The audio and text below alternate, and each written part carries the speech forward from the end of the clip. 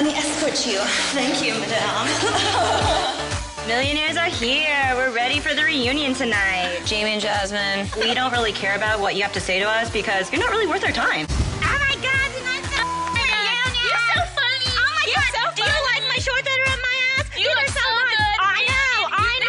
like I I love the artwork in here. It's so nice.